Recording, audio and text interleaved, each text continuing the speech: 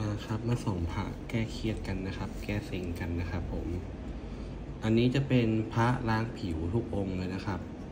ด้านบนผมใช้โซดาไฟกับสเตย์คลีนในการล้างนะครับ ด้านล่างนะครับสามองค์นี้สององค์นี้ใช้น้ำมะนาวในการล้างนะครับ องค์นี้ผมได้มาแบบนี้ไม่รู้ว่าเขาใช้อะไรล้างนะครับ เดี๋ยวผมจะหยิบให้ดูทีละองค์นะครับผม เราจะยังไม่พูดเรื่องเกย์แท้นะครับ เพราะว่ายังไม่มีหลักอะไรมาตัดสินชัดเจนนะครับ อยู่ที่ว่าเราชอบเนื้อหาแบบไหน เราก็เช่าบูชาแบบนั้นนะครับ หรือไม่ก็เป็นเครดิตของคนขายนะครับว่าเครดิตคนขายเนี่ยเขาน่าจะถือมากแค่ไหนนะครับ แต่ถ้าเกิดการดูพิมพ์ผมก็จะบอกได้คร่าวๆอะผมหยิบให้ดู องค์นี้จะเป็นพิมพ์ใหญ่ A องค์นี้จะเป็นพิมพ์ B หน้าฝรั่ง แต่องค์นี้องค์ใหญ่มากนะครับ วิธีการดูดูยังไงดูด้านหลังสำหรับผมนะ สังเกตปลายสังคตินะครับ ฝั่งนี้จะมีเป็นฐานสามเหลี่ยมที่ปลายสังคตินะครับ แต่ถ้าเกิดเป็นเป็นพิมพ์ B จะไม่มีนะครับ ผมปกติพิมพ์ B จะไม่ใหญ่ขนาดนี้นะ องค์นี้ใหญ่มากๆนะครับ ใหญ่กว่าพิมพ์ A อีกนะครับ มาเราให้ดูอันนี้ อันนี้จะเป็นพิมพ์ C พิมพ์ C นะครับผมพิมพ์ C สังเกตคือจะคนละพิมพ์กับพิมพ์ A กับพิมพ์ B เลยนะครับ จะแยกออกไปเลย ทั้งบริเวณศีรษะนะครับ หรือว่าตรงสังคติต่างๆนะครับ จะไม่เหมือนกันเลยนะครับผมอ่าอันนี้จะมีริวจีวรที่แขนซ้ายชัดเจนนะครับ ลักษณะของริวจีวรก็จะไม่เหมือนกับพิมพ์เอกน้าฝรั่งนะอ่าผมให้ดูองค์นี้ก่อน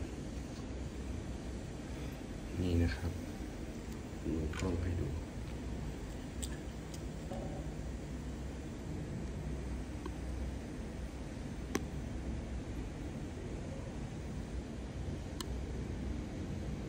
ไว้สำหรับพี่ๆเพื่อนๆ น้องๆ ที่ใครต้องการที่จะศึกษาและเช่าหา พระหลวงพ่อเดิมกุพนมลอกนะครับลองจดจำพิมพ์แล้วก็เนื้อหาให้แม่นๆนะครับ ความคมชัดของพิมพ์ก็สำคัญนะครับผม อืม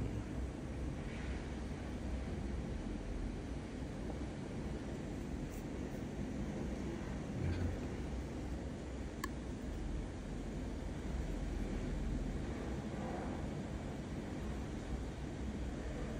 โอเคฐาน สูงพิมพ์ A นะครับ ผมองนี้ไม่รู้เขาใช้อะไรล้างมานะครับ ผิวเป็นแบบนี้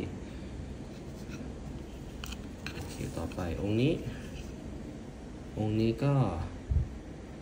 เป็นฐานสูง A เหมือนกันนะครับ สังเกตเห็นไหมมีสามเหลี่ยมตรงนี้เนาะนะครับ ช่วงแรกๆเนี่ยที่เช่ามาเนี่ยจะผมจะเห็นว่าจะมีรูที่บริเวณท้ายทอยกับรูที่แขนเนี่ยค่อนข้างเยอะเลยนะครับ พิมพ์นี้นะ แล้วก็ ตำหนิรูตรงสังคติตรงนี้นะครับ ค่อนข้างที่จะช่วงแรกๆอะ่ะที่ผมเช่าเนี่ยจะมีเป็นอย่างนี้ทุกองค์เลยนะครับสำหรับพิมพ์ใหญ่ A ตรงปลายจีวรจะโค้งนะครับ แล้วก็ตามรูพวกนี้จะต้องคมเป็นสันนะครับ ที่ผมชอบนะ อันนี้คือแบบที่ผมชอบไม่ได้บอกว่าที่มันไม่คมจะเกนะครับ ผมแค่บอกว่าผมชอบหรือผมไม่ชอบนะครับ องค์นี้เนี่ยผมล้างเองกับมือ นะครับด้วยน้ำมะนาตอนแรกเนี่ยผมไม่เห็นหรอกว่า ด้านบนท่านเป็นรูเพราะว่ามีคราบดินคราบกุกบอยู่ ทีนี้พอล้างมาแล้วเนี่ย ผมกลับชอบองค์นี้มากๆเลยนะครับ เพราะอะไรนี่สังเกตเนื้อด้านในนะครับเนื้อด้านในก็เป็นสีเดียวกับตัวผิวผ่าด้านนอกเห็นไหมครับ อ่าเห็นไหมครับ คือพระชุดนี้เป็นหล่อโบราณนะครับ ไม่ใช่ว่าหล่อเสร็จแล้วมาปิดทองเพิ่มนะครับ เป็นหล่อโบราณนะพิมพ์ A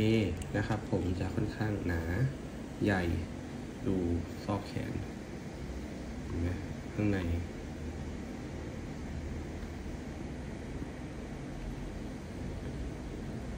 นิ้วเท้านะครับนิ้วเท้า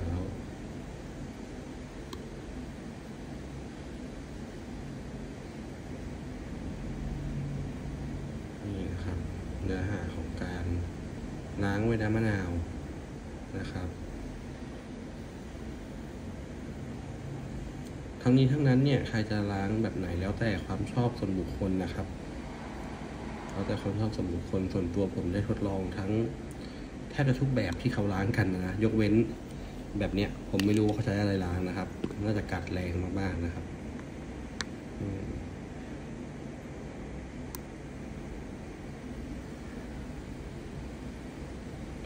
นี่นะครับ พิมพ์ใหญ่เอังเกตรอตะไบ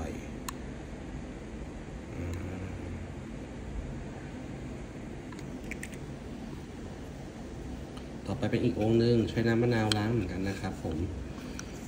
องค์นี้ผมชอบผิวเหลือบๆแบบนี้มาก ๆ เลยนะครับ คือก่อนหน้านี้ผมอะ่ะเคยได้มามาองค์แล้วผมล้างองค์แรกเลยผิวเหลือบๆแบบเนี้ย แต่ว่าผมออกไปแล้ว ผมก็เลยเช่าองค์อื่นมามาล้างเหมือนกัน แต่ว่าได้ผิวแบบนี้ไม่เหมือนกันนะครับ แล้วก็เพิ่งได้องค์นี้มาอีกองค์หนึ่งนะครับ อันนี้เพิ่งได้มาใหม่เลย สังเกตดูผิวนะครับ สังเกตดู เห็นไหมครับ ไม่ใช่ทุกองค์จะล้างได้แบบนี้นะครับอ่าอันนี้แล้วแต่คนชอบไปนะ แต่ผมชอบผิว แบบนี้มาก ๆ เลยนะครับ มีเสน่ห์นะครับ สังเกตจะมีเหมือนแบบเป็นเนื้อหน้าหน้าสังกษัตริย์หน่อยนะครับนิดหนึ่งเพราะองค์แรกที่ผมขายออกไปเนี่ย ก็คือเป็นมีเนื้อหน้าด้วยนะครับ ผสมสีเป็นเนื้อหน้าเลยแหละอ่านี่นะครับ สังเกตความเลือบของเขา มีเสน่ห์นะครับ ใครชอบไม่ชอบก็แต่คนมองเลย นะครับ แต่ส่วนตัวผมชอบผิวแบบนี้นะ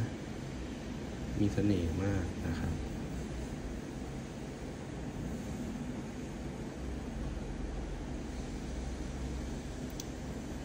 เก๊หรือเปล่าผมก็ไม่รู้นะครับ เพียงแต่ว่าจากประสบการณ์ที่ผมเล่นหามาตั้งแต่ ช่วงแรกๆที่วัดออกจำหน่ายอะ่ะ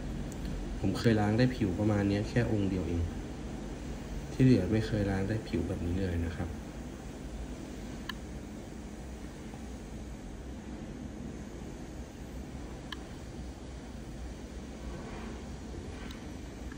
องค์นี้ก็เป็นพิมพ์ใหญ่ A เหมือนกันนะครับพี่เห็นไหมว่า จะคนละพิมพ์ รูสังคติที่เป็นรูนะครับ กับรูที่แขน และรูที่ด้านหลังคอ ไม่เหมือนกันนะ เป็นคนละบล็อกกันคนละพิมพ์กันนะครับ ผมก็ไม่รู้ว่าเขาเรียกว่าอะไรเหมือนปั้นหุ่นเทียนมาไม่เหมือนกันนะครับแต่ว่าด้วยความคมชัดของตัวจีวรนนะครับ นิ้วเท้า ช่องหลวงพ่อเดิมคำว่าหลวงพ่อเดิมนะครับ แล้วก็รอยตะไบนี่นะครับ ไปดูองค์นี้กันต่อ เพราะว่าองค์นี้ผมชอบนะครับ องค์นี้ผมชอบมากนะเนื้อหาให้ดูองค์นี้กันต่อนะครับ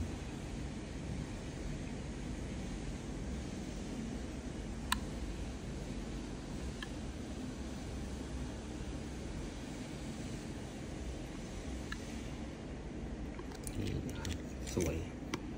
มาก ๆ นะครับ ผิวแบบนี้ โอเค ต่อมา เป็นแบบที่เราาล้างด้วยโซดาไฟนะครับ จากที่ผมได้ไปดูมาหลายช่องทางเนี่ยเขาบอกว่าโซดาไฟเนี่ยจะเป็นด่างนะครับ ผมน้ำมะนาวจะเป็นกรดฉะนั้นโซดาไฟมันจะไม่กัดแรงเท่าน้ำมะนาวนะครับ ผิวก็เลยเป็นแบบนี้นะครับ จะยังดูบนคงความเก่าไว้อยู่นะครับ องค์นี้เข้าใจว่าหล่อมาแล้วเนี่ยน่าจะมีเนื้อเกินเยอะนะครับ ก็เลยมีตะไบที่หน้าด้วย แปลกดิมกันผมเพิ่งมีองค์ที่ตะไบตะไบจุดอื่นนอกจากขาเนี่ย องค์นี้องค์แรกนะครับ ก็เลยเก็บไว้ดูนะครับนี่ครับ ผิวเนื้อแบบนี้ จะเคสจะแท้ผมก็ยังไม่รู้นะครับ ยังไม่ได้มีอะไรมาตัดสินนะครับ แต่ผมก็ว่าผมเช่าจากคนที่ไว้ใจได้นะแรกๆที่เขาเล่นกันคือท่อนแขนของพิมพ์ B เนี่ย จะไม่หนาเท่าพิมพ์ A แม้ว่าพิมพ์ B องค์นี้จะองค์ใหญ่ก็ตาม นี่ครับ เห็นไหมพิมพ์ A เนี่ยท่อนแขนช่วงเนี้ยจะหนากว่าบึกกว่านะครับ แต่พิมพ์ B องค์นี้สูงกว่าอีกนะครับ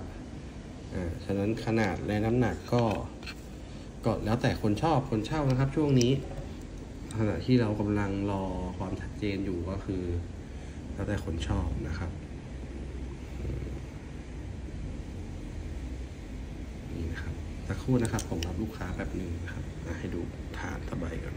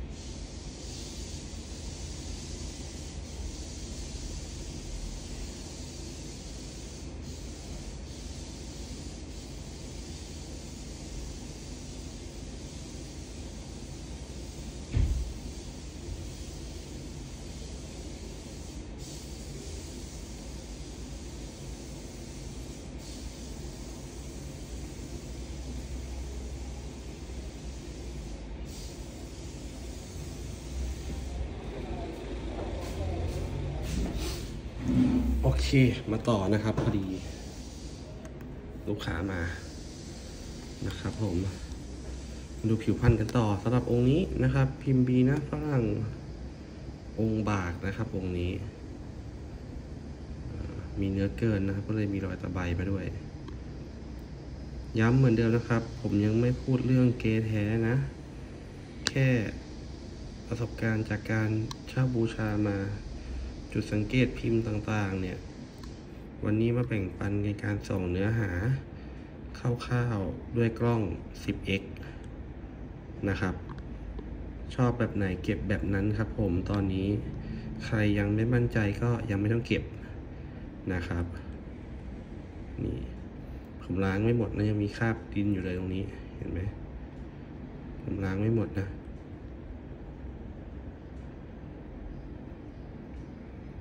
นี่นะครับ พิมพ์ B ต่อไปพิมพ์ที่หลายๆคนมองข้าม จริงๆผมชอบนะ พิมพ์ C นะครับพิมพ์ C ฐานเตี้ยนั่นเองนะครับแรกๆก็คือ เขาจะเรียกว่าฐานเตี้ยนะครับ ดูเนื้อหาความเก่ากันก่อน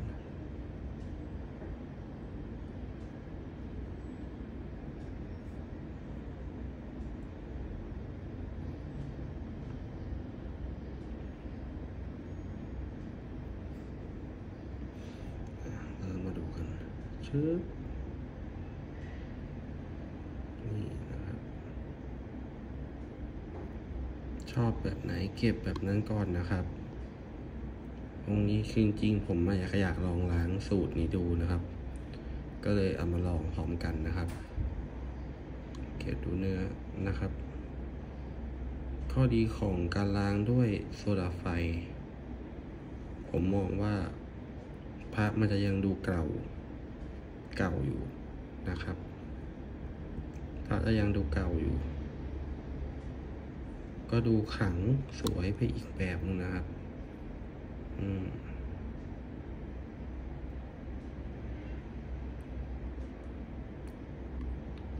ผมคิดว่าเก๊หรือแท้อันนี้ผมก็ยังฟันธงไม่ได้นะครับ แต่ว่าผมเช่ามาจากคนที่น่าเชื่อถือ นะครับ แล้วก็ลองล้างดูก็เป็นแบบนี้นะครับอ่าสององค์นี้ผมช่ามาพร้อมกัน ผมช่ามาพร้อมกันสององค์นี้นะครับ ต่อไปจะเป็นหลวงพ่อคล้าย องค์นี้ผมล้างแล้วผมก็ชอบผิวมากๆเลยนะพี่ดูความสวย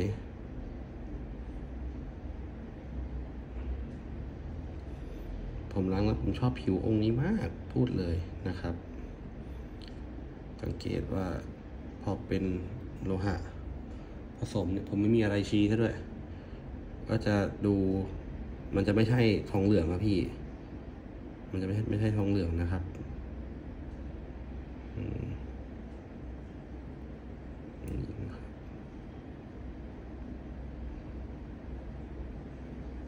หลวงพ่อคลาย ผมชอบผิวแบบนี้เหมือนกันนะ ชอบ เห็นไหมว่ามันมีเสน่ห์คนละอย่างกันอ่ามีเสน่ห์คนละแบบกันนะครับ แต่ลักษณะเนื้อผิวพันธุ์เนี่ยไปในทางเดียวกันนะอ่าใครที่จะเข้ามาศึกษาเล่นหาตอนนี้ก็แนะนำว่าศึกษาข้อมูลเยอะๆครับ ดูโพสต์เก่าๆก่อนนะครับ นี่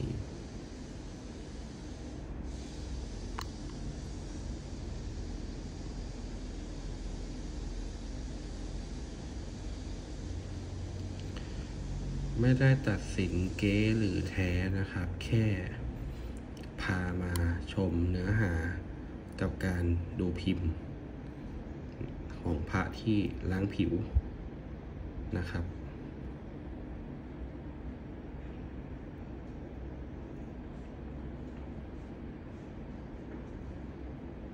ล้างผิวด้วยสูตรต่างๆ จากขั้นพี่ๆนะครับ ใครชอบสูตรไหน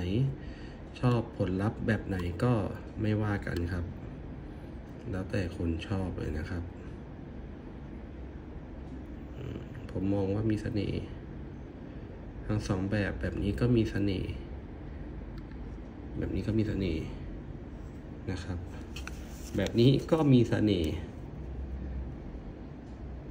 อ่าแบบนี้ก็มีเสน่ห์นะครับ อืมนี่นะครับ แล้วแต่คนชอบเลยนะ ต่อไปจะเป็น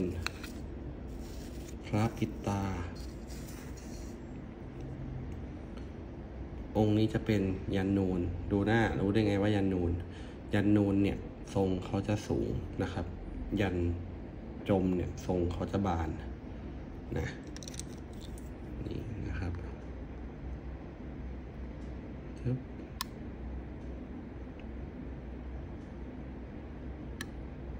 ดูเนื้อหากันนะครับ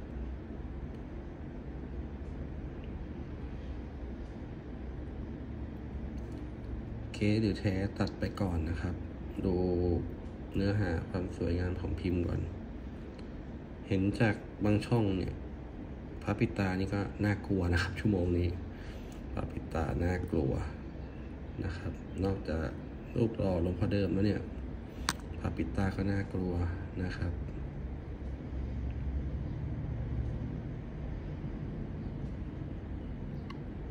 นี่ยันนูน ไหนๆก็ไหนๆแล้วเดี๋ยวผมเอาพระชุดแรก ๆ ที่ผมชอบบูชามาให้ชม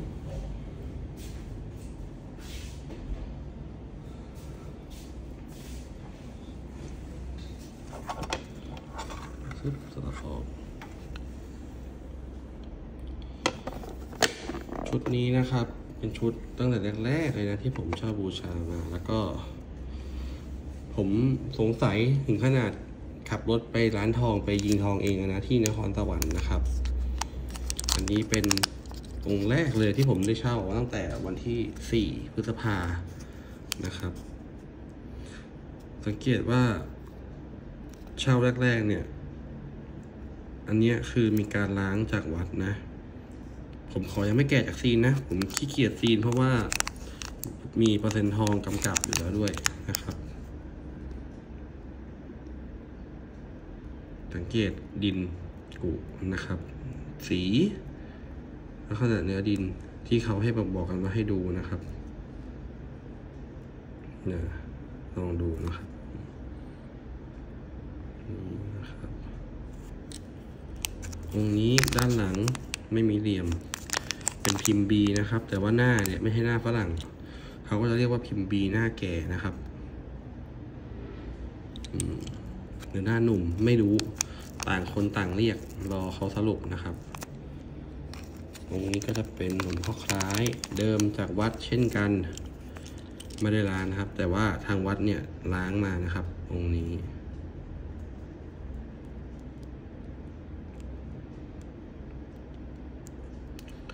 เข้าใจว่าตอนแรกแรกๆเนี่ยที่วัดเขาล้างเนี่ยเพราะว่าขี้ดินค่อนข้างเยอะนะครับ ทางวัดเขาก็เลย ใช้น้ำเปล่าแล้วก็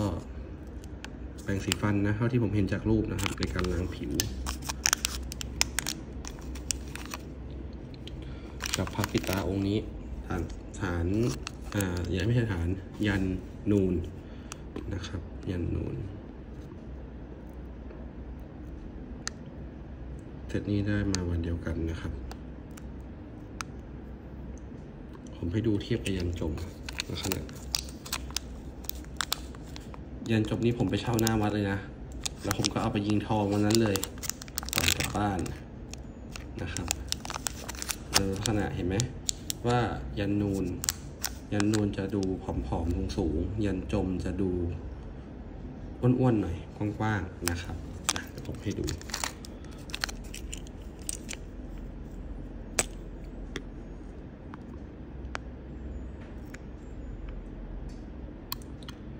นี่ผมไปเช่าหน้าวัดเลยนะ แผง ในวัดนะครับตรงนี้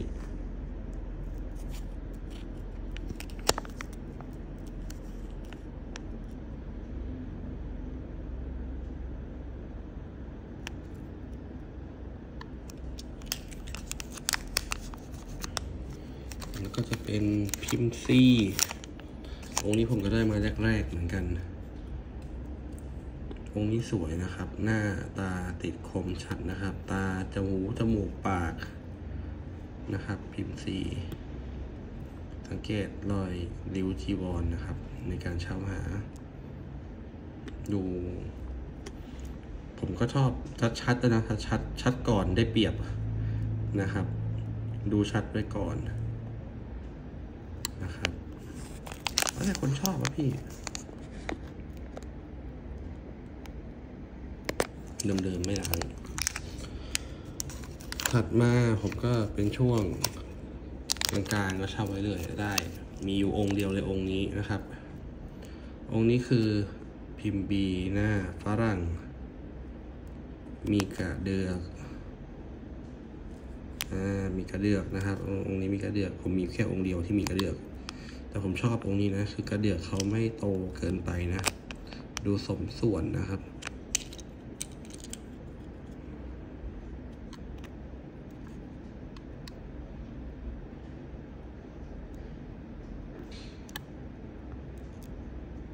จะเป็นยุคกลางๆเดือนพฤษภานะผมเห็นจะเป็นคราบดินเนี่ยจะเป็นลักษณะประมาณเนี้ยเยอะนะครับ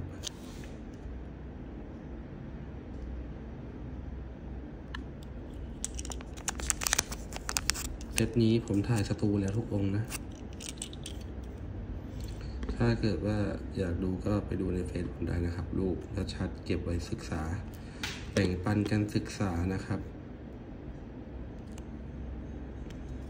พื่อช่วยให้พระมีความเป็นมาตรฐานสากลนี่พิมพ์บีบางคนเขาบอกว่าจะมีตุ่ม ตรงซอกแขนนี้นะครับ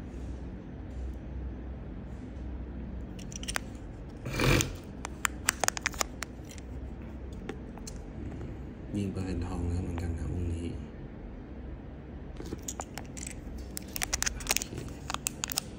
พอผมเช่ามาอีกสักระยะหนึ่งก็จะเริ่มมีเป็นองค์ดำ องค์ดำอันนี้ก็เป็นผ่านกลางหน้าฝรั่งนะครับ เริ่มมาผิวองค์ดำครับกุก็จะเป็นอีกแบบหนึ่งนี่นะครับ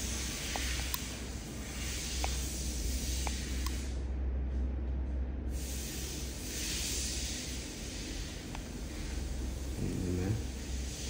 คราบดินแล้วก็จะเป็นอีกลักษณะหนึ่ง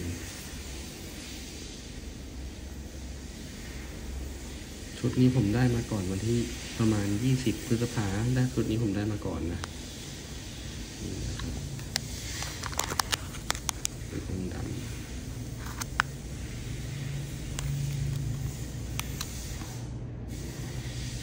มีเปอร์เซ็นต์ทองหนึ่งจุดห้าเดี๋ยวที่เราคิดเปอร์เซ็นต์ทองกันเนี่ย ผมไปยิงเนี่ยโอ้โหบางคนมายิงทีสามร้อยองค์นะครับ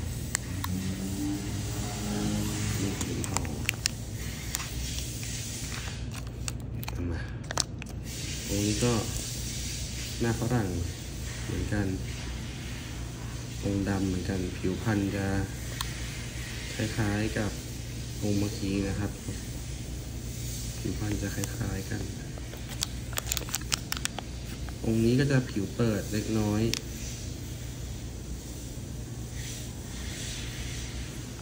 เป็นสีทองทองแซมก็สวยไปอีกแบบนะผม ผมออกไปหลายองค์แล้วที่แบบว่าโหผิวทองเปิดสวยๆเลยอะที่เป็นองค์สีดำอะแล้วผิวเขาเปิดนะครับ แล้วแต่ความชื่นชอบของแต่ละคนเลยนะครับ อันนี้ก็2.4นะครับเปอร์เซ็นต์ทองต่อไปอ่าองค์นี้ องค์นี้ก็หน้าฝรั่งเหมือนกัน องค์นี้เนี่ย เปอร์เซ็นต์ทองสูงสุดตั้งแต่เคยผ่านมือผมเลยนะ